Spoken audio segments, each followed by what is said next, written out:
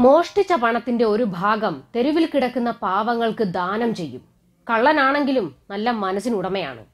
മഹാരാഷ്ട്രയിലെ തെരുവോരങ്ങളിൽ ചർച്ചാ വിഷയമായ തെരുവിലെ പാവപ്പെട്ടവരുടെ ഹീറോയായ കള്ളനാണിപ്പോൾ സോഷ്യൽ മീഡിയയിലും വൈറലായിരിക്കുന്നത്. എന്നാൽ ഒടുവിൽ മഹാരാഷ്ട്രയിലെ കൊച്ചുണ്ണിക്ക് പൂട്ടുവീണു. പോലീസ് പൊക്കി. മഹാരാഷ്ട്രയിലെ നാഗ്പൂർ ജില്ലയിലാണ് സംഭവം. പക്ഷേ എൺപതിനായിരം രൂപയുമായി കടന്ന നാഗ്പൂരിലെ കായംകുളം കൊച്ചുണ്ണിയെ ഇരുപത്തിനാല് മണിക്കൂറിനകം പോലീസ് പിടികൂടി. തൗസീഫ് ഖാൻ എന്ന ഗോഡയാണ് പിടിയിലായത്. കഴിഞ്ഞ ദിവസമാണ് മുഹമ്മദ് അഖിൽ അബ്ദുൾ മജീദി എന്നയാളുടെ വീട്ടിൽ ഇയാൾ മോഷണം നടത്തിയത്.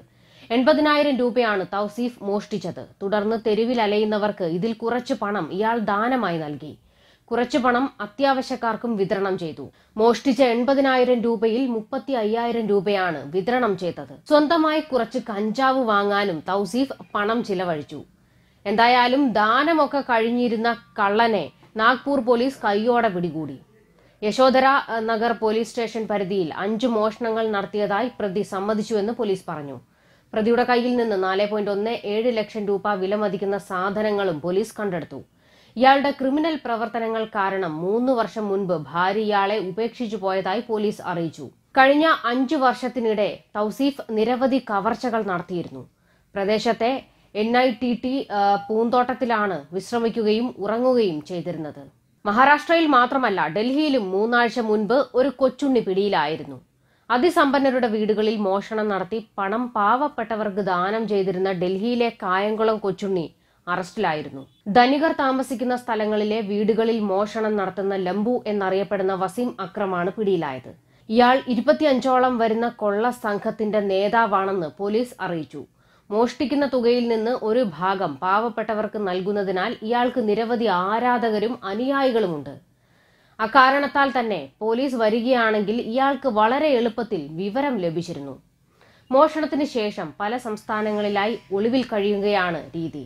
എന്നാൽ ഇയാൾക്കെതിരെ കൊലപാതക ശ്രമം കവർച്ച ലൈംഗിക പീഡനം തുടങ്ങി നൂറ്റി അറുപത് കേസുകളാണ് ഉള്ളതെന്ന് പോലീസ് പറഞ്ഞു. വസീമിനെ പിടികൂടാനായി ഇൻസ്പെക്ടർ ശിവകുമാറിന്റെ നേതൃത്വത്തിൽ പ്രത്യേക സംഘത്തെ രൂപീകരിച്ചിരുന്നു. നാലു മാസത്തെ അന്വേഷണത്തിനൊടുവിലാണ് പിടികൂടിയത്. ഒടുവിൽ ആനന്ദ് വിഹാർ റെയിൽവേ സ്റ്റേഷനിൽ നിന്നാണ് വസീമിനെ കസ്റ്റഡിയിലെടുത്തത്. തോക്കും വെടിയുണ്ടകളും ഇയാളിൽ നിന്ന് പിടിച്ചെടുത്തുവെന്നും പോലീസ് അറിയിച്ചു. ഈ കള്ളന്മാരുടെ വാർത്ത പുറത്തു വന്നതോടെ ഇരുവരും സോഷ്യൽ മീഡിയയിൽ വൈറലായിരുന്നു. ഇരുവരും കള്ളന്മാരാണെങ്കിലും ദാനം ചെയ്യുന്നത് കൊണ്ട് ഇവർക്ക് ആരാധകരും ഇവരുടെ നാടുകളിലുണ്ട്. എന്തായാലും കള്ളന്മാരുടെ വാർത്തകൾ അതിവേഗമാണ് വൈറലാകുന്നത്. ചിലപ്പോൾ കള്ളന്മാരുടെ ചില അബദ്ധങ്ങളാണ് വൈറലാകാറുള്ളത്. ചിലപ്പോൾ കള്ളന്മാരുടെ മോഷണ രീതികൾ. ചിലപ്പോൾ കള്ളന്മാരെ പോലീസ് പൊക്കുന്നത്. ഇവിടെ കള്ളന്മാരുടെ ദാനശീലമാണ് വൈറലായത്. ഏതായാലും മോഷ്ടിക്കുന്ന പണമൊക്കെ ദാനം ചെയ്യുന്നുണ്ടെങ്കിലും മറ്റു കുറ്റകൃത്യങ്ങളിൽ ഏർപ്പെടുന്നത് കൊണ്ട് ഇവർക്കെതിരെ വലിയ വിമർശനവും ഉയരുന്നു. News desk Karma news.